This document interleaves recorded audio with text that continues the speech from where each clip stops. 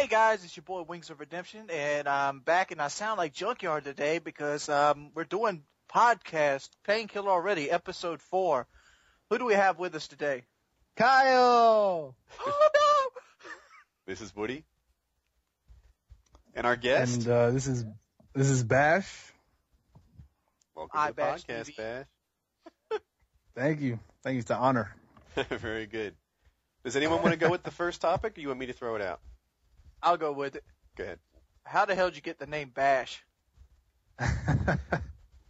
Bash. Well, my real name is Bashir, so a lot of people, a lot of my friends call me Bash, so I just ran with that. Bashir, I like is that your first name or your last name? That's my first name. Oh, because I'm, I'm thinking of the hockey player, Donald Brashear. How big of a nerd Yeah, but I his am. is- I'm thinking of Star his- Trek Deep Space Nine. Yeah, that's the one. I'm more I'm more along along the lines of Deep Space Nine because I don't have a R in the middle of my name. I have a R only at the end. Oh, okay. Yep. All right. And you Yeah. both, you just both out nerded me. I had never seen Deep Space Nine. I, ne- I never could, I could never follow spin-off shows like Deep Space Nine, not a- Voyager, or um, All right. Well, Voyager was good, man. You had Janeway. She was a, she was like the first female Star Trek captain. Wait a captain. minute. she was. I was with you through Deep Space Nine, but Janeway and that little midget guy, like the Ferengi person, like who the cook. Neelix. No, Neelix is the man. He cooked. He had that mohawk thing, and he had that little midget girlfriend. Neelix is Who was- the who was woman three years at old. best. and that guy. You had a black Vulcan in there. That was Hence great. He was the first black Vulcan. hey, Next Generation and the original. That was all that that consists in the Star Trek universe to me. you know If what? it, didn't, if it didn't have at least a crappy made-for-TV spin-off movie, I weren't interested. I'll say two things. You missed out on something with Deep Space Nine, and if you haven't seen the new Star Trek movie, which didn't seem to fit that criteria, you really missed out because that was great. You know, I, Oh, I, I. I made the first ten minutes of the new Star Trek movie because you know, um, Jay, The first ten minutes was badass. It- it- what of him with a Mustang driving across the cliff for no fucking no, reason? that was like 30 minutes in. If I recall, the first 10 minutes was um, Yeah, that that's that the battle guy- at the beginning. The battle bad. at the beginning that his father fought. Exactly. he crashes. Yeah, with that was I- I love any movie where at the end the guy's like, "Fuck it," and he like drives a, a ship into something. He's like, "All right, they're going you, down." yeah. You can't go That's wrong. what- yeah, You but can't That's what- that was Oh. Nemesis. we're gonna go super nerd mode on this podcast. We're gonna talk about some Star Trek, I guess. Let me tell you, this is why this is why Captain Kirk was a badass. When shit went down, he was gonna set that thing to self destruct. He didn't care. He must have done that like ten different times. if I'm Scotty, I'm like, Fuck it, blow it up. calm down. Because he's setting that thing to self destruct every other episode. That or he's gonna like crash it into something. If you come on board his ship and you fuck with him, he's like, all right, we're all going down. I don't care. Blowing up in five minutes. I remember we were fighting against these people one time who, who who were like half black, half white, and I don't mean racially. I mean like they were split down the middle vertically. Left side was was like white painted, right side was black painted, and like those people wanted to take over the ship. So he's like, all right, self destruct mode, and the timer's ticking down, and the alien's like, are you fucking crazy? And he's like, I don't care. We're all gonna die now. he just didn't give a shit, and and he like he didn't care. He was gonna get in a fist fight. He was gonna fuck a green woman. He was the man. The epitome of badass. Picard was like the thinking's man Star Trek captain, but Kirk was just a badass. The only thing that got me with Picard is Data did most of his fucking work. I, I- well, I mean, you got to think of Data like as as as Picard's iPhone. I mean, if he's not a, he's not really a person. if he was a better thinker, he'd have leveraged Q a little bit more. You know, he's running into trouble. He could have said, "Hey Q, fix this stuff for me," and, uh, and why, be good to why go. did, why did Picard need a second officer? I mean, I guess you could say Leonard Nimoy was, you know, Shatner's second officer, but he did. He had a whole different job. He was like, He was a science officer. yeah, he was a science. Why did Picard need like a second chair? You know what I'm gonna say? Ship. I'm going to throw this out there. If you gave me four weeks, I could grow a beard at least as good as that guy's. Oh, what Brent Spiner? That guy had a badass beard. I can No, do Brent that. Spiner was Data. You're Oh, talking was about he? John, Was, uh, You're talking about Jonathan Frakes. I don't Jonathan know. The guy's my- n- number one. That's who I'm talking about. Yeah, Yeah, Jonathan Frakes. I Brent can grow a Spiner beard like Data. that. I can get See. that done. And Hutch, don't make me show you. I grow a beard if my wife lets me. Son, I outbeard all of you. I grow full uh, beard in sleep. I saw your beard, man. It, it was like the Abe Lincoln thing you had cooking. Yeah, and that was like three days old. no. Wow. I'm serious. I I got more back hair than some people have hair on their body. Whoa, but TMI. Uh, I'm just a hairy beast. My chest, I got chest hair. It looks like a forest. um, All right. So But- moving on. Yeah, new topic. hey, did you guys see the new map pack was uh, announced for um, Modern Warfare 2?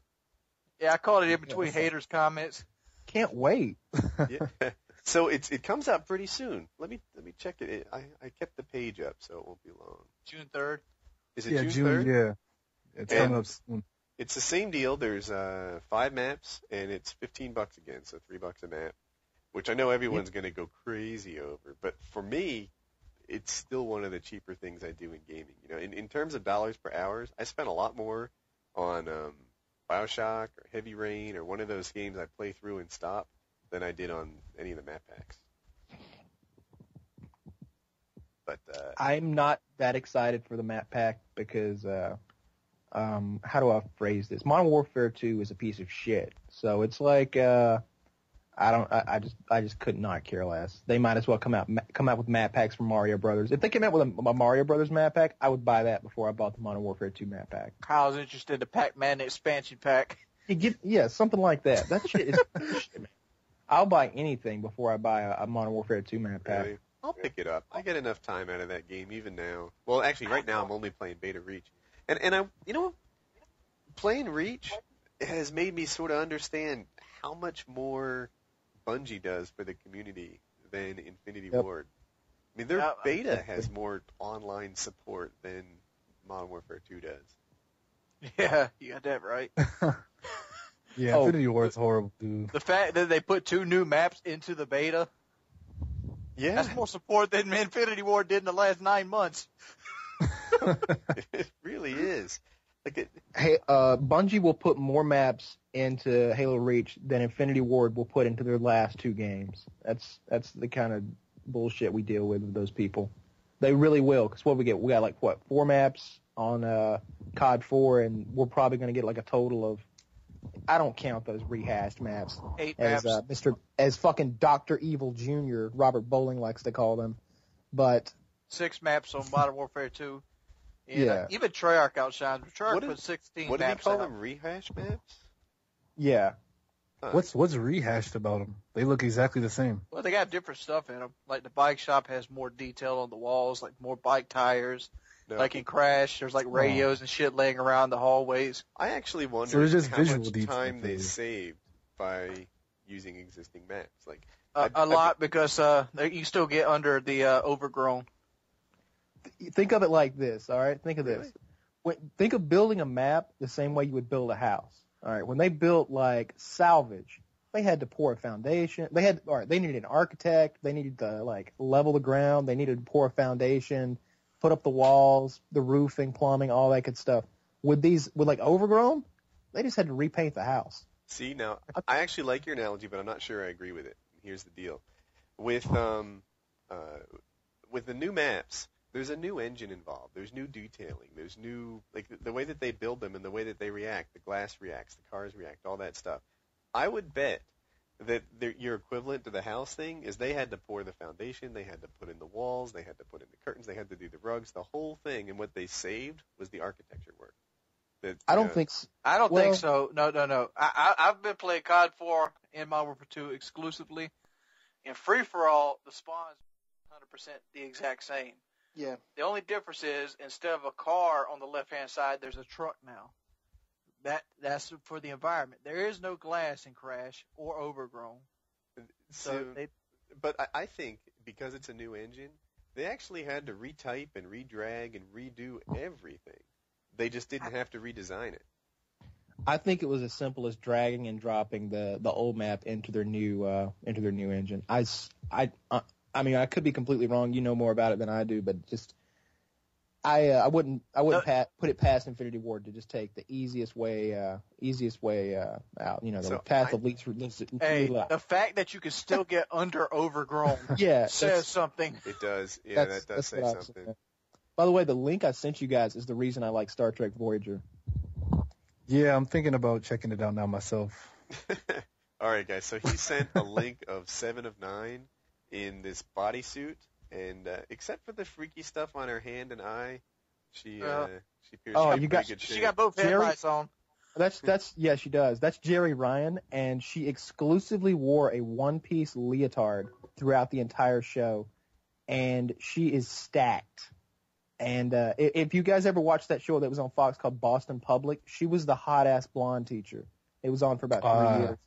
But yeah, you're right. I she's remember got that. some metal implants on her body, and she's got like one o- that's like framing her eyebrow, and she's got one that's on her left hand, and you got to wonder where the rest of them are.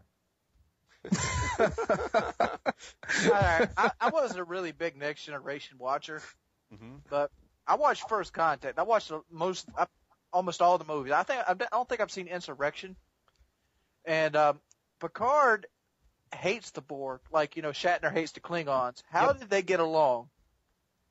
How did who get along? No. Uh, this was Voyager. She was on. She was on. The Oh, she was on Janeway. Voyager. She went on Next Generation No, Right. she wasn't on Next Generation. because I, I remember Picard hated the Borg. But I don't think he was prejudiced against them. I bet if he met a nice Borg, he'd get along with that guy. I don't think so. Did Picard ever get in a fist fight? Yeah, Um, I'm sure he has. I'm trying to think back. I've I've literally seen every episode. So now let's just get one thing straight because I know there's probably you know 10, 20. I don't know how many viewers we have on this thing now. I'm not a, I'm not one of those Trekkies. 20. Okay. I'm not one of those Trekkies. I'm not one of those guys who has a Star Trek uniform in the closet, puts it on, and hangs out with his buddies or anything. Let's let's let's get that straight now. I just enjoy the television show. Used to watch as a child with my father, so it's ingrained in my personality. Just wanted to get that out there, but I so love you're the show. saying you're loyal to your Star Wars, and, and you're only going to have the Stormtrooper uniform and no others? Oh, fuck off. You know, you know what actually ran through my mind when you were talking about that was you in Walmart in a Star Trek uniform with a gun. oh, I'd have to have a phaser if I'm in Star Trek. I, You know what? Trek, I want to call that the oh fuck off thing. We have had so many subs who don't understand like friendships and relationships and guys joking around. How That's because many? those kids don't have fucking real friends in life. Like I don't get this. These people are like a, a certain kind of emotionally retarded. That's what I wanted to talk about that I couldn't remember. Oh, Glad really? you brought it up. I've been trying to remember what I wanted to bring on this podcast forever. Go ahead and finish your point. I want to hit on it too. it's baffled me how they don't see like you know when I tease you about how you were afraid to face me in Civilization's Revolution, that they don't see like the fun in that and that we get along. Or um, I, I did a dual commentary with um, FPS Russia, and they think that guy's gonna kill me. They're they're, they're like you know good thing you have that gun. It- it- It's Yeah, nobody can nobody can joke around. They think you're so so serious about everything, and like they'll. I mean, they they hear somebody call somebody a douche, and they're like, "Oh, Hutch hates that guy. Let me go to his page and flame him now." It's. I mean, that's. let me let me just say this. All right, the majority of I myself am 20. I just turned 24 years old. The majority of the people that I play with and that I hang out with on you know YouTube and Skype and stuff are around my age or older. We, I don't know how to say this. We're most of us are grown men. So if we have a slight disagreement about a video game, that doesn't mean we want 20,000 14 year olds to jump in on her side. I don't need that, guys. And most of the time we're just joking around anyway. If you tell somebody to go fuck, if I, if you hear me tell Woody to go fuck himself, I'm not serious. Yeah, Kyle and I were laughing through that whole Civ Rev game, and I know probably 98% of the people who watched the, the like you know back and forth leading up to it uh, understood that uh, like we were friends and we were getting along. But there was a vocal minority who really thought you know that there was a severe disagreement over civilization's revolution, and uh, oh my god. I was getting these comments on my page. They're like, "Oh, you, you like you showed that faggot Woody, man. You you made him eat his words." I'm like, "Are you kidding?" Woody's got two kids. How's he homosexual? yeah, maybe they don't understand how it works. You had the birds and the bees conversation at your house yet? Dude, I don't even want to get started with those people. But uh, but yeah, just understand, you know, like most of us in the YouTube community get along with each other, and if if we say something, we don't need you know forty thousand people yelling fight, fight, fight. To uh, I mean, there's only things. there's only two people um, two people on YouTube that I hate, and I mean I would never bring them up because I don't like those those silly little flame wars. Because basically what you're doing when you start those, you're trying to rally your troop of children to fight on your side. And what kind of what kind of reasonable adult human being would do that? I don't get it. You know, see, my group of children are mentally retarded. This guy just spelled legend L E N G E N D. The legend. Maybe he's Italian. I don't know. Yeah, maybe he's Italian. You know, who knows? Sebastian, I'm have you still seen looking this at. too? All right, I'm gonna look at. I'm gonna try to find some nude photos of Jeri Ryan. You guys change topics Oh, or whatever. goodness. Bastion, do you have subscribers who appear to be emotionally retarded? Uh, I don't have enough subscribers for me to call my subscribers emotionally retarded right now, but I'll go ahead and say that um I do I definitely I, I do keep keep an eye on you know the the comment boxes that you guys have and it's sometimes it's just ridiculous what I see man and I guess I guess you just got to understand that some people just don't get it you know what I mean some of these people that a lot of the people that we cater to are under the age of 15 you know what I mean so they just they just don't get it right Yeah, now. You know, they I haven't developed mentally. I like my subs, and um, I appreciate that the bulk of my subs treat me really well. Like, uh, you know, one thing that I'm kind of proud of is um, I have three videos on Machinima, only three, and Machinima has like 1,600 videos total.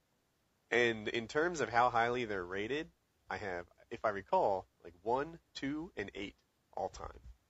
And it's not because my videos are the best that's ever been on Machinima. It's because my subscribers are the best, and and I appreciate them for that but there's a couple out there who don't understand joking, and uh, that's you know, I've seen that recently. So Yeah, this this pending approval stuff rocks. This one kid said, "Why no commentary?" like twelve times. Yeah. I, know- in that case, the pending approval, like when you do a duel with FPS Russia, one of the uh, things he used to do is he'd ask you to make the comments pending approval, and uh, so I, I've seen that too, and I think it confuses people because I got more duplicate comments on that one video than I did all my others combined. I saw that he was doing that, and I was like, "Why would you do that? You got to go through every comment and approve it." And he's like, "It makes all of it. It shuts up all the people that are gonna hate on me." And I'm like, "You know, you're right. I've started doing it too. I do it on every single video." Yeah, I'm gonna start doing it myself. I'm just gonna block all the haters, and the only people that'll see the hate is me. It's a good idea. These kids are douches. Who are these kids who make these Photoshop fake pictures of celebrities nude? Now I have to like inspect the photo. Oh, I I, don't know if this is real or not. That's not real. I don't know. chick they put her head on though. Now, is this Jeri Ryan chick? Is she uh, is she a la carte or is she natural? She's natural, I think. I don't, I don't, I don't think that that's natural, dude. I you mean, see this how looks like basketballs here. I'm looking at. Yeah, that's what I'm seeing. They're they're high, they're riding a little high, man. They don't look all natural to me. I mean, I'm, it, it looks like they're holding holding their own. Gravity ain't got nothing on them. gentlemen, That- if yeah, you that's can what I'm touch saying. something, it is real. End of discussion. No, no, we ain't saying it's not real. There's a difference between real and not natural, though. There's no, I mean, you know, you could be real but not natural. All right. Those aren't natural. Those are supernatural. That's the end of story. all right, you win on that. Hey, who knows what time the call started before we get too deep into it? Was it was it 15 like, uh, minutes 10, in? 10, 20, somewhere around there. Oh, so we're 25 minutes in, you think? Yeah, about 25 minutes in when we started the conversation. All right. So, So- let's let's do um some more. Hey, I have this. uh Here's the deal. Two podcasts ago, I had what someone called a cool story, bro, which is actually an insult, meaning like a boring story. but I think by and large it was well received. So I'm gonna let our guest choose which cool story I choose. Um, the first time the police brought me home, my high school suicide attempt, how I got thrown out of the dorms and met my wife, or the one that Wings wanted, my career path. You know, I, Um, I, I'm thinking about that second one. I'd like to hear that second one. Well, um, it's funny because cause I'm actually in the IT industry, so your career path actually is interesting to me, but I really want to hear about that suicide attempt. I gotta say.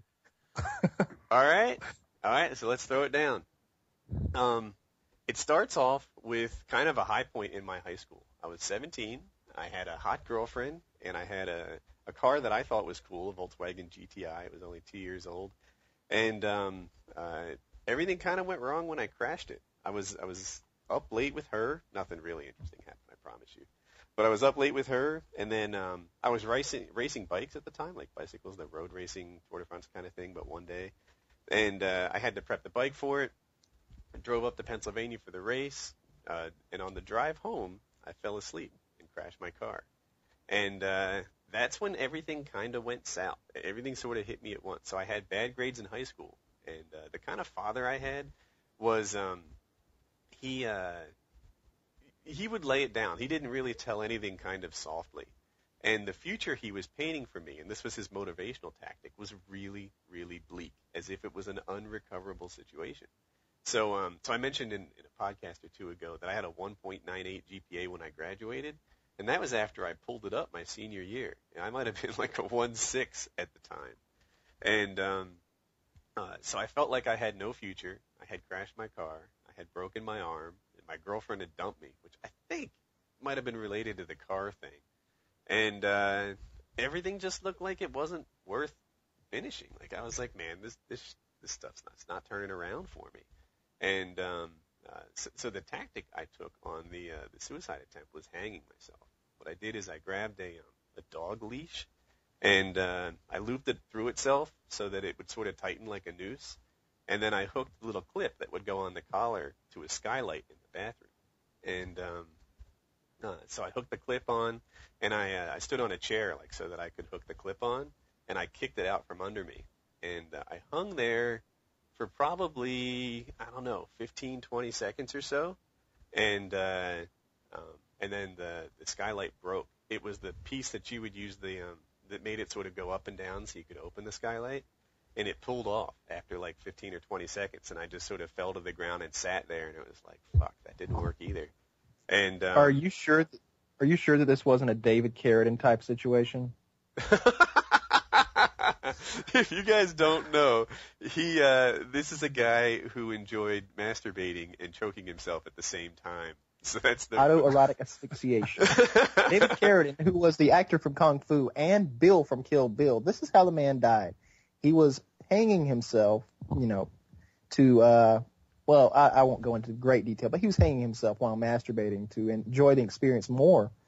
And uh, like many uh, people who do that, he killed himself accidentally, and was and you can imagine how they found him, hanging naked with his hand on his penis. Worst death ever. best death ever. You got a Yeah, better way to go. questionable. Question. Yeah, it can go both ways. Yeah. So um um anyway, after that, like sort of the the successor, the the, the finish of that story there is um I just I didn't really try again, although I was kind of depressed. My sleep schedule was wrecked, and um uh I don't know I- what I happened. got a question. Go How ahead. how'd the how'd the straight shooting father take the broken skylight? they didn't know. They didn't know for years. I, I actually told them about it probably when I was in my mid twenties. So I, it was 17 when I did it, and uh, they're like, oh, you know, but but they knew that um, that I was depressed. They just didn't know how to deal with it. They didn't know how to like provide a support system and, and to help me kick it. And um, I, I really think what pulled me out of it was springtime rolled around.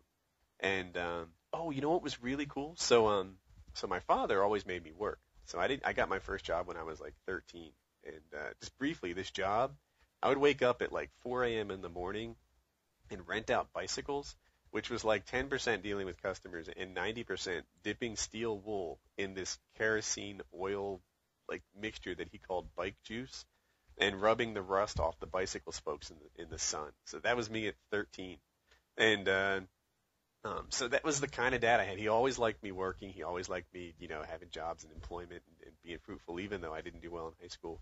And uh, that summer, when I had a broken arm because of the car crash, I uh, I couldn't work. I couldn't get hired anywhere, and uh, it was awesome. It was the first time I had like a fully savaged hand, and uh, I spent all my time at the beach and uh, got in good shape. And, and I used to date girls like serially. So so when you're in um a regular town, if you like ask a girl out or you know you date her for a week and you're a total jackass, then that's on your permanent record. But if you live at a beach town, you get 200,000 new women every week. Every week. You can be anything. I, I saw the movie um, with Julia Roberts where she plays a, a prostitute. Help me here. Pretty Woman. Pretty, Pretty woman. woman. I saw that Walking movie like 25 times that summer. I would take girls to that movie and then and then kiss them under the boardwalk like every opportunity I got. And um and that was what pulled me out of my depression. Woody's wife does not listen to the podcast, ladies and gentlemen. I was about to ask, did you pull the same move on the wife? No, no. Hey, that that I've got a, a pretty interesting story from when I met her too. Maybe another podcast. What, what did you take her to Pretty Woman and kiss her under the boardwalk? No, it's a whole new story. It has to me it has to do with me nearly getting thrown out of college and doing community service. But we'll leave it for another one. You you were just a you were just a bad kid, eh, man? You know, I was like a some- really nice kid. I wore sweaters with collars underneath them, and like got away with a lot more than my leather jacketed brethren. but your hearts were the same though. That's the thing. But not in like a nasty way. Like I was never a, a nasty person. Like I, I didn't beat up people smaller than me or anything like that. But uh, in terms of like playing hooky, and uh, I had a motorcycle in high school, and if I wasn't going double the speed limit, I thought I wasn't doing it right. And so if it was 55, I'd go 110. If it was like a 25 in urban streets, I'm going 50. And uh, that was my goal. I'm like passing between cars on uphill corners, thinking that double yellow line is like the motorcycle lane. That was that was me in high school. Damn. My exciting parts of high school was getting a, getting accepted in a Dungeons and Dragons group. All right, well, well, time- moving on, moving on. We're we're- oh my god, I can't believe you said that. My that just happened. Wow.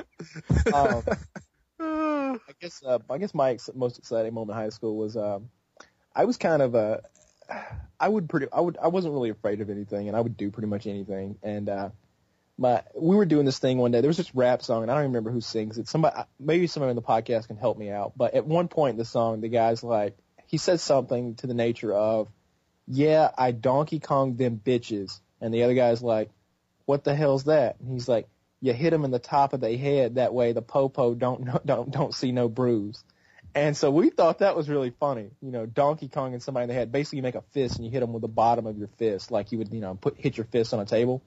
And so we were seniors, so as the freshmen walk by, we Donkey Kong them. We pop them in the top of the head just for the hell of it. See, that's And, what I uh, didn't do. I never beat up little kids, you jackass. No, no, no. We're getting the good part. See, I, I, I'd have Oh. a handful of dick. Somebody did that to me.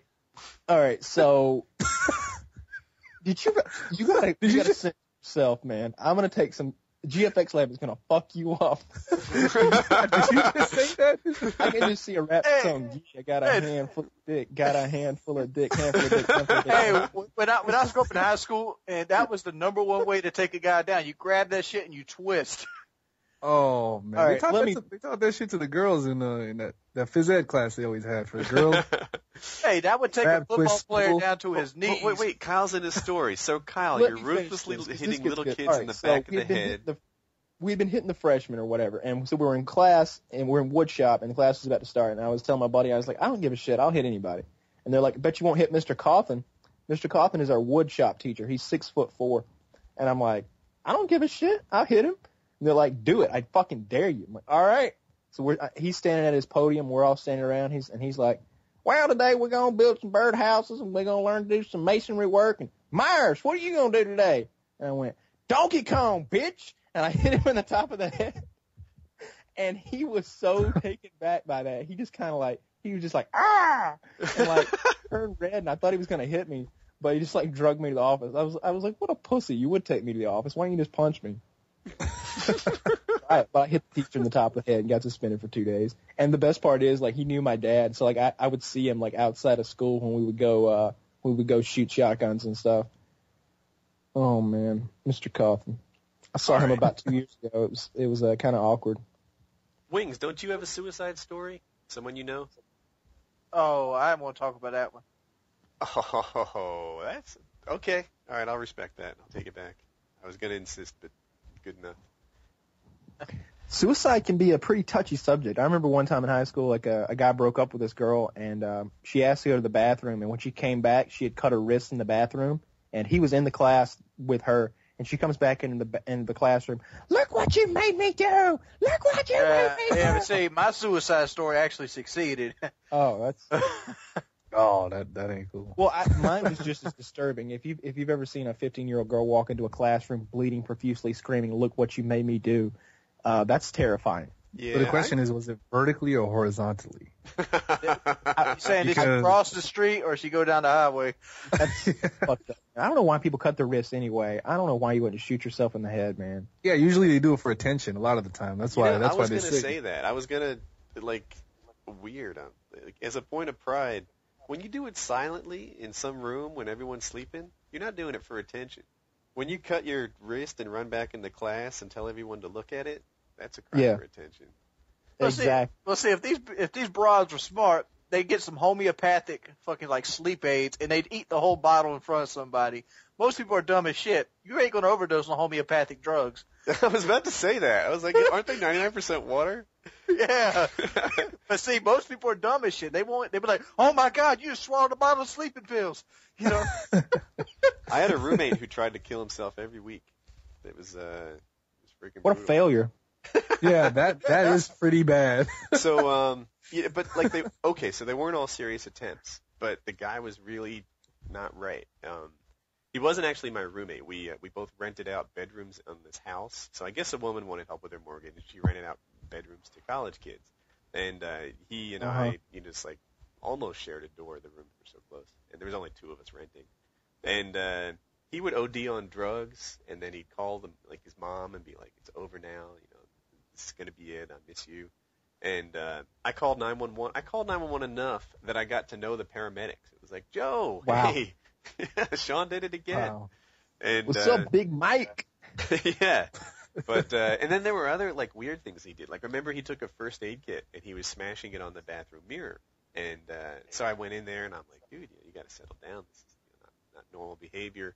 And he later admitted that like in his head he was going to break the mirror and uh, a piece of glass would cut his jugular. Now, of course, that's not a, a realistic plan, but that's what he had cooking in his mind when he was doing it. Why did he pick the glass up? You He know, didn't break it. It was a plastic first aid kit, and he was just sort of smashing it when I, uh, you know, went over and helped him out. You know, all, all this goes to my mind. What the hell was the lady that needed the help with the house payment doing when he was trying to break her bathroom mirror? Yeah, The more even know if she important was story home. that I want to hear is what was Woody doing with the lady who was renting the house out to him? Because I just imagine some kind of weird was- scenario. You know, when I rented the room, I was like, yeah, you know, like it, even if it doesn't turn romantic, at least it'd be like someone cool, and maybe she'll have friends because she wasn't that much older than me. She's probably like 22 or 23. Nice. But uh, turns out she was gay and uh, not down. Oh, Yeah. Trust me, Woody. See, you what- can uh, I you can you can turn him back. That's what Dan Savage okay. says. it was okay when you said she was gay. When I was like, you can work with that. I couldn't work with it. I don't know. Maybe you were. I don't know. than. You got there's different levels of gay. I mean, th- when they when they already look like the boy, you might not be able to turn them back. I've I've seen like some females that go so deep into like looking like a boy, they'll start talking like him. Like Yeah. I I worked with this one girl, you couldn't even tell it was a girl.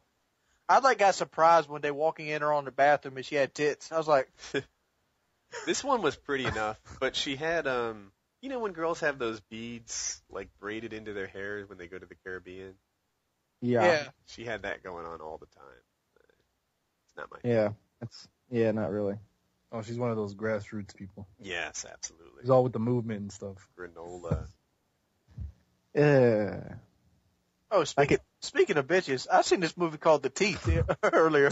Y'all ever see Teeth yet? All right, hang on one second. While you talk about teeth, I'm gonna go to the bathroom, and hopefully you're done talking about teeth. Oh, you want to be here for this one, Kyle? You want to be here? no, I don't. I've seen the movie. I know. I'll be You right see- back. Oh, no. All right, I want to be here. Tell me about teeth.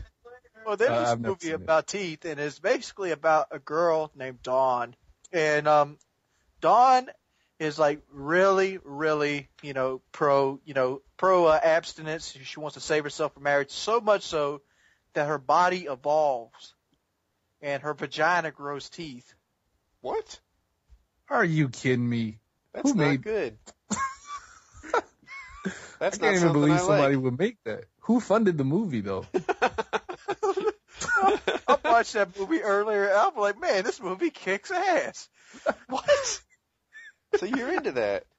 I mean, it, it, I'm not into the vagina with teeth, but I don't know. I'm getting that a cool concept because he, cause she had like these boyfriend. She had like a really clean cut boyfriend, and she, and like his friend always hit on her, and he's like trying to get his hand down her pants. And he comes back without his fingers, oh no! and it turns out in the movie, it- spoiler alert. turns out in the movie, the boyfriend that was all lovey-dovey with her, the one who's like, yeah, I'll save myself for marriage, actually had a bet with his other friend that he would score with her first. And So he lost his dick. you know, he lost his dick, yeah.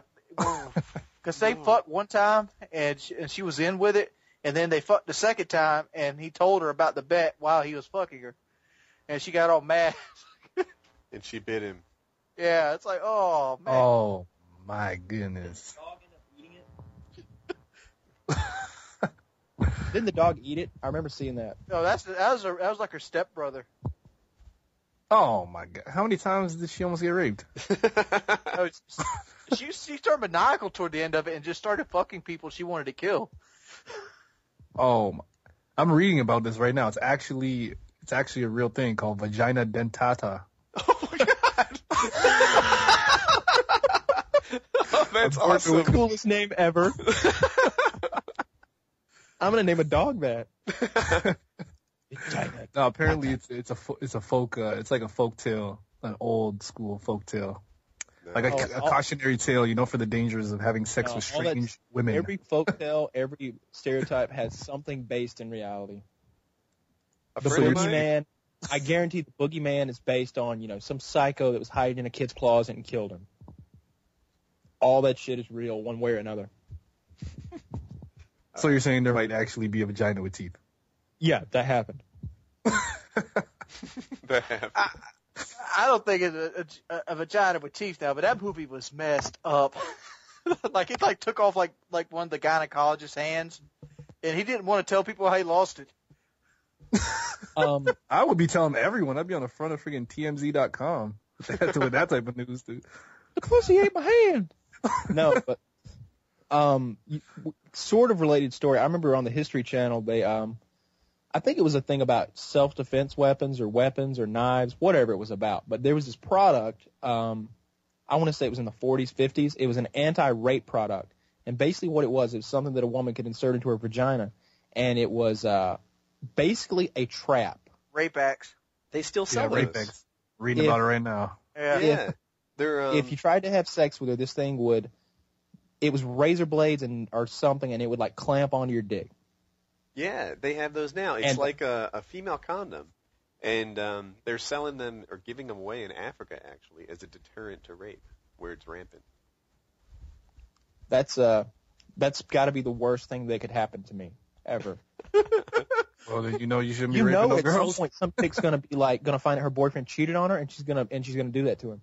Oh man, I can see it Oh, now. you're right. You're right. I, I would How do you you got to stereotype Yeah. those women too? You like look at her. She's pounding those drinks like she don't care. She got her rape axe on today. And like, what if Oh no! and like and like, Oh, what if the no. chick has? Imagine this scenario. Imagine if the chick has it in, she gets drunk and she goes home with you, and she forgets she has it in. Well, all the more reason to eat it before you stick it. All right, that's just why you put, you put the fingers in first. You put the Yeah, you- fingers. Now you're gonna lose your tongue wings. Have a nice day. Ooh. You're gonna sound like White Boy Seventh Street doing commentary now. Oh, Oh. man. I had a joke to go along with it. Oh, I was gonna be like, Kyle, you never been in a pie eating contest? Oh my. all right, all right, God all right. Did anyone else have topics prepared? Um, Bash, what kind of grades did you get in high school? Um, high school was cool for me. I was always all right in high school. Like I did good in my first three years, and we had four years of high school. and, and um, in my last year, I just I did so horribly bad. I don't know why. I just got distracted and didn't pay as much attention as I should have. But um, I went to summer school. I, like my last year, my last semester was the only class that I ever failed, so Summer I wasn't going to graduate. I'm familiar with the concept. so I had to hit up summer school, and uh, I got lucky. I got a good grade, and um, I ended up getting into university after all. So Nice. That I went to out. summer school, and I was there with. uh If if any guys are from the Philadelphia area, I went with Tug McGraw's daughter. And she and I were in this English class, and uh took summer Who's school. Tug McGraw? Tug McGraw is a um, Hall of Fame pitcher. He played for the Phillies. Was he a pitcher? Is I have that right? Yeah. Yeah. I want to say he was. yeah, he was he was a relief pitcher apparently. Guy was a gangster. Relief. All right.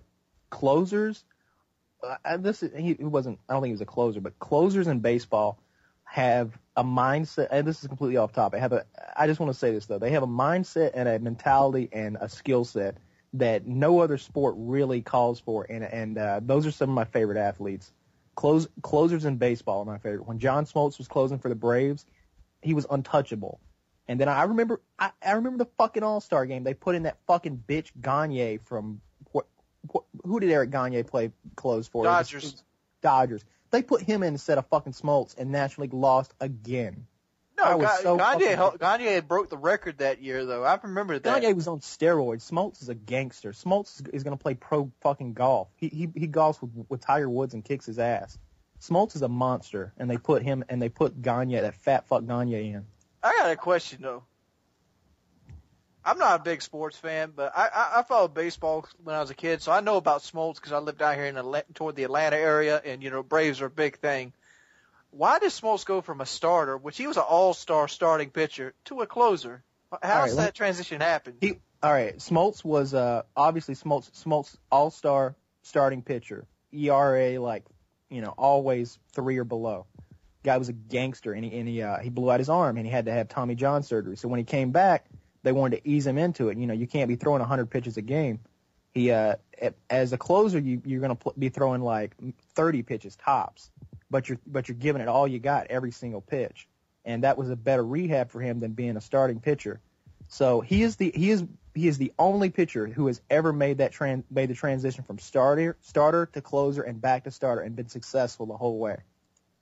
That guy is uh, my favorite athlete of all time, and he is a he is a awesome guy. I've met him. He does charity work all the time.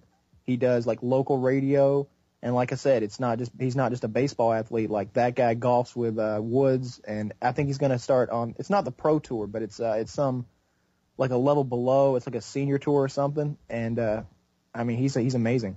I love that guy. All right. Yeah, Smoltz, Smoltz has had some competition too. He had Maddux and Glavine. That that'll never happen again. There will never be a team like the 1995. I want to say it was was it 94 or 95? 94, I believe. Uh, when they wor- won the World Series, it was even 94 95. I should I should know that, but what they had? Smoltz, the '95 Glavine. Braves had Mark Wohlers too. Whatever the fuck happened to him? He had like a 108 mile an hour fastball. 102, and he. uh All right, remember he remember when they they played the Yankees in the World Series that year, and he uh he he said all this stuff about New York he shouldn't have said. I know his dad. His dad uh was my mom's boss at one time. And uh, he was like, I can't believe he said that stupid shit. Now he's on every newspaper in the country for hating on New York. Because basically he said that like New York was full of freaks and they're in the subway. Uh, they're like, they're, he's he's talking about homosexuals in the subways and Mhm. freaks and all these like messed up people that he was seeing and how he hates New York and stuff. Like as they're playing New York in the World Series, so probably not a good idea because they're throwing they're throwing D cell batteries at you when you storm onto the field. Then, buddy. Oh, I just want to throw out there. Turns out Tug McGraw didn't actually make the Hall of Fame. He was a beast, but not a Hall of Famer. So I think I just saved myself like twenty-five thousand personal messages. Yeah. Uh, yeah, I'm not. I'm not too much of a baseball fan myself. The last thing I really remember about baseball is the Toronto Blue Jays winning in '92 and '93. Yeah. Oh, I And remember that, that. and that when Joe Carter went uh went to the tri- the triple deck. Did they beat the Phillies? Yeah, yeah, they Yeah. did. Yeah. with I, the that's the only thing yeah, I Joe remember about Carter. '93 is Joe Carter hit like the sixth deck of the Sky Dome with a home run. Yeah, he he went off. That guy was like my hero. I had a T-shirt. I was like, what? How, I was like seven. I had a little T-shirt. I remember. Used to walk around with that shit every day. Mhm. Joe Carter, man. I, I, I, see, I'm pulling names out my ass. I only watch sports. Joe Carter, I'm the man. You know, you, you know how I remember Joe Carter? I used to I used to have like a Sega game that was based off the '93 era, World Series baseball. Yeah, I remember I had a game for Sega Saturn, and I was I would always play as the Braves. And uh, I remember Fred McGriff could hit a 500. I think I hit a 580 foot home run one time with that guy, gangster. He was So, a first you- at the time. This fall, which is going to be the bigger game, Halo or Black Ops? Black Ops. Black Ops for sure. Um, I'm not I think- digging. I'm not digging Reach at all. I mean, I was I was watching a Notch Johnson video the other day, and he was doing. He went like a 20 and a three in Halo Team Slayer, Mhm. and I'm sitting there thinking, Notch is a good player. No credibility to him, but I'm on par with him, and I can't pull 20 and three on Reach. Why the fuck can't I pull 20 and three on Reach?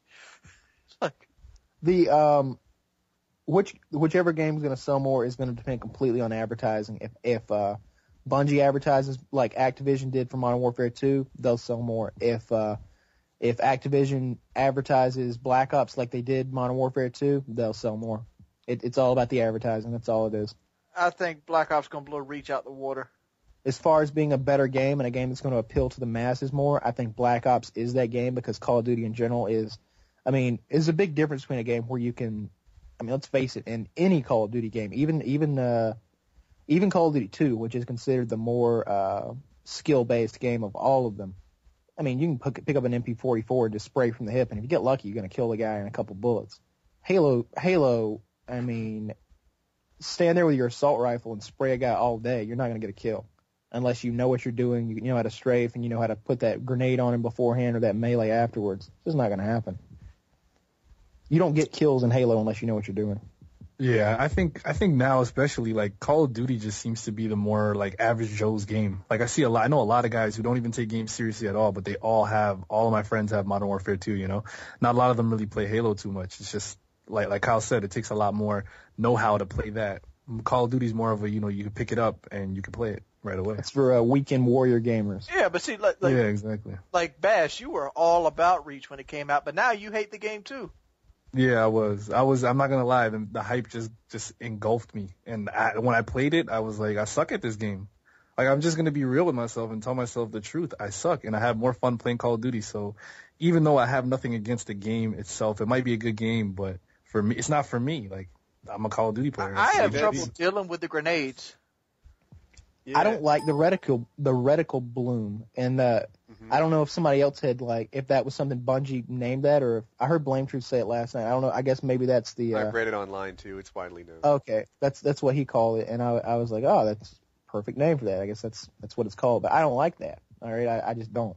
In in case you guys don't know, basically you've got a the reticle, you've got like a, a, a circle that you put that that's where your bullet's going to go, and every time you shoot, that circle expands to about five times its normal size, and then it shrinks back down pretty much instantly, and that's to prevent you from from firing rapidly with like the DMR. It it makes it so that the shots aren't are like one fifth as accurate if you rapid fire it versus adds taking one more time. piece to the skill, right? You, you can't just get on target and Mhm. get like three hits.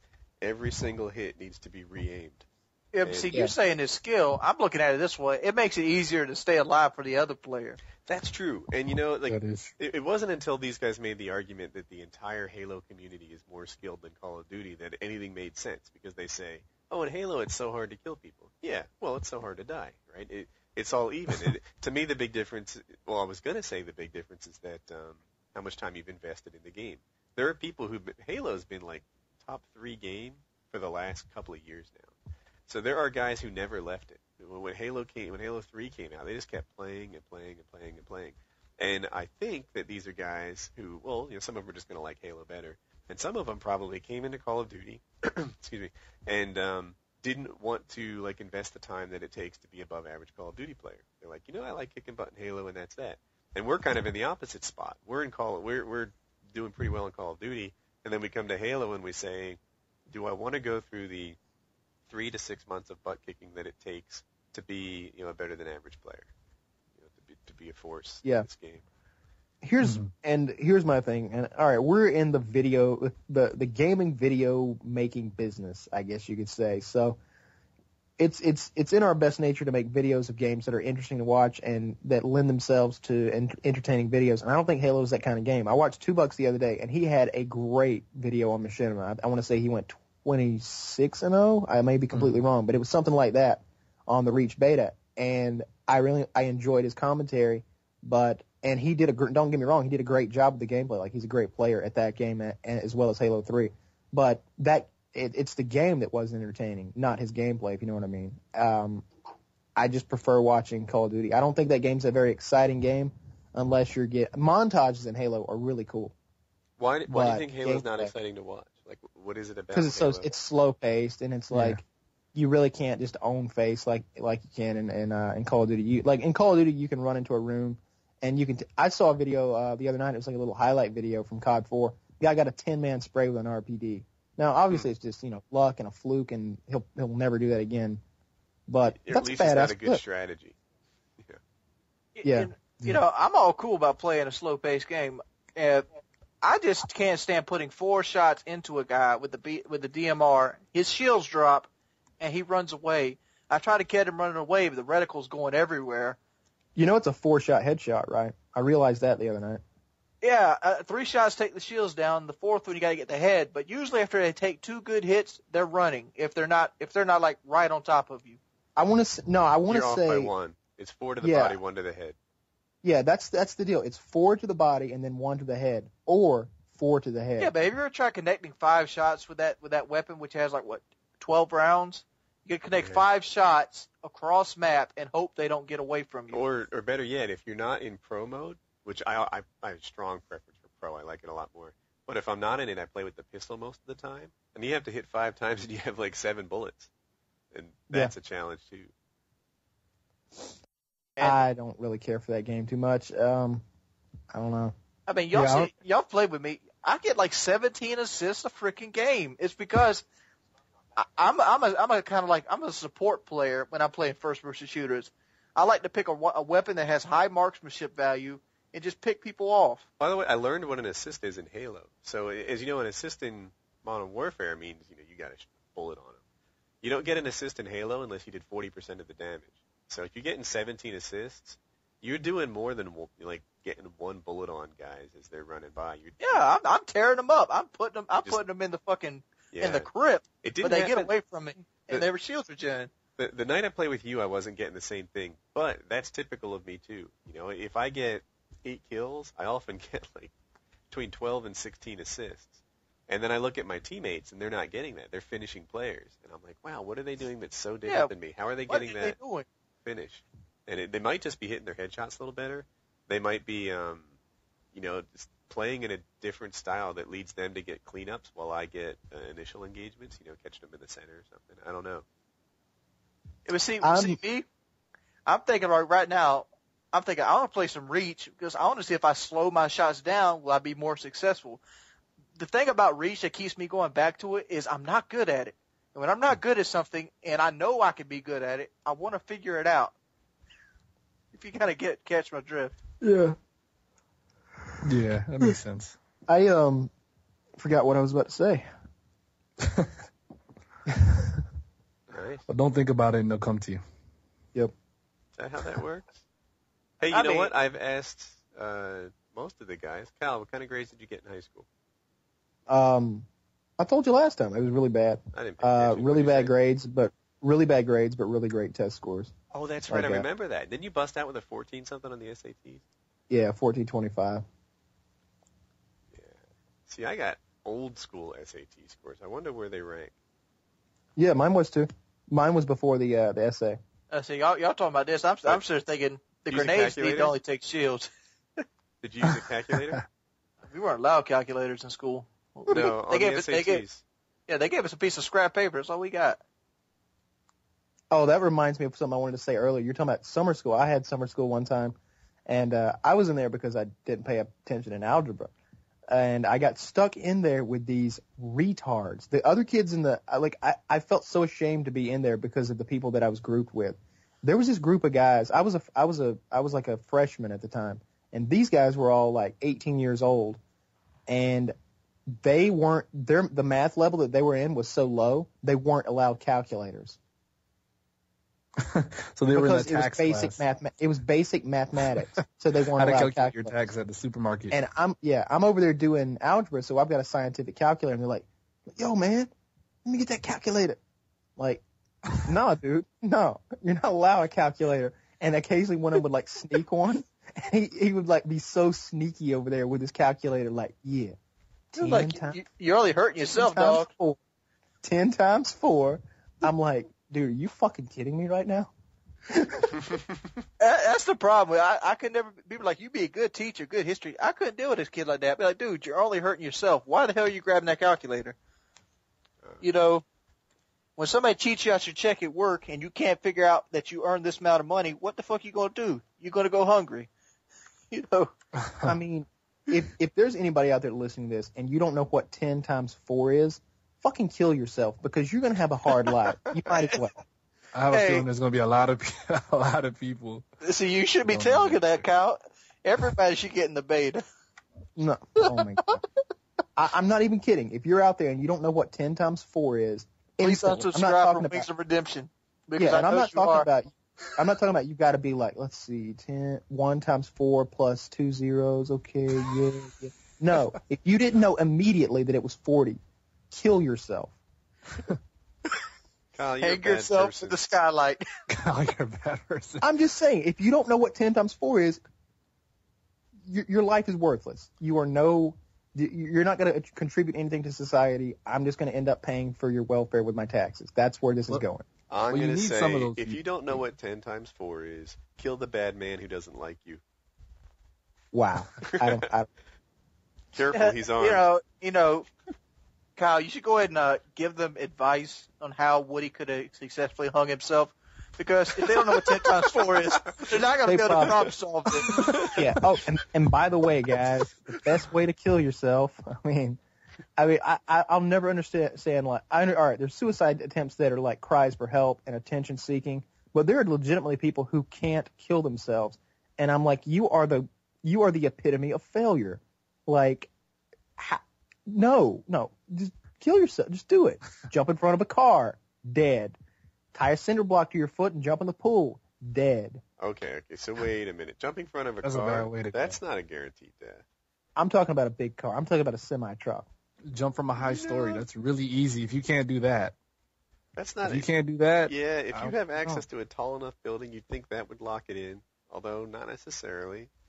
The, the surefire way, I think, is firearms, but not everyone has access. Yeah, I've seen people fail at that too, and they're like, yeah, there's a guy. There's a guy in my town who walk. You see him walking around sometimes, and like half of his face is gone because he failed at shooting himself in the head. Really?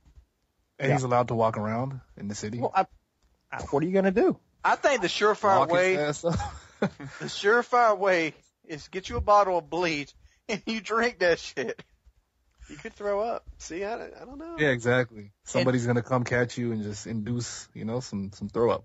If you want Uh, a if- quick, if you painless take a death, big I'm enough liking swig- the building idea.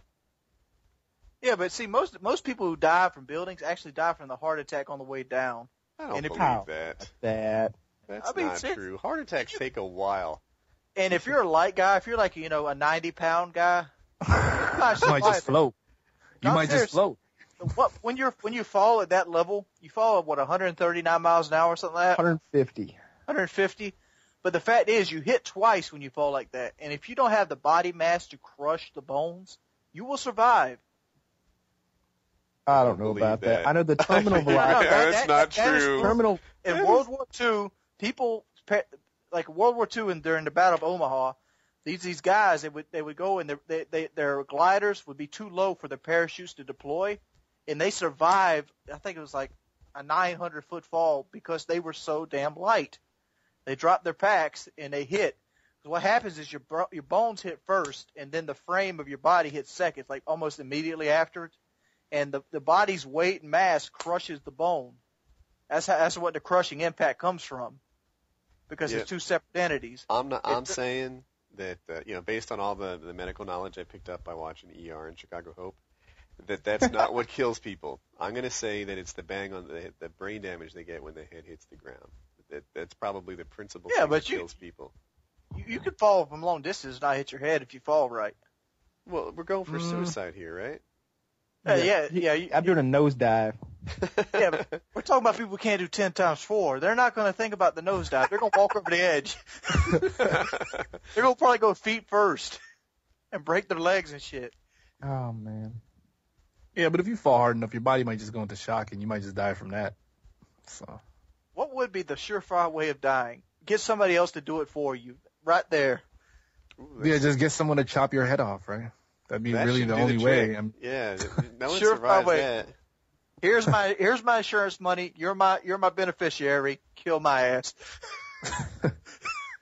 All right, we're at one hour. Does anyone have any closing thoughts better than that one? Yeah, if uh, if you don't know what ten times four is, please go ahead and unsubscribe from my channel because I know some of you don't. This you is can subscribe to mine if you don't want to. If you don't want to subscribe to his, I don't mind. you know. Subscribe to Yeah. Bash. Bash doesn't mind having liter- literally retarded people subscribe. I might, I might when when I hit your guys' level, but when I'm at four They, thousand, they, they be over like, Bash, what does your girlfriend's favorite commentator mean? um, yeah. All right, hey Bash, you did a good job. Appreciate you uh, speaking well, up. thank you, Yep. thank you for having me. Thank you for having me. And uh, next week I'll try and pick a, a happy story. I actually got. Let me go ahead and say this before we close this out. Mhm. I actually did have Brad Jones for this week, which is the cinema snob, and he messaged me halfway through the podcast saying he had just got home and he forgot completely about it, and he he has a lock in for next week. So if you guys are looking for the cinema snob, he will be on here next week. I know I'm looking psyched up for it. But it's been Painkiller already, episode four. Please leave your thoughts, your your comments, your rates, and all your you know your blessings. Send them over to Woody because I don't want to hear them. All right. Send me money. All right. Kyle wants money and Bash wants subscribers. Have a good week, guys. Have a good week. Later. Take care, y'all. I hit stop.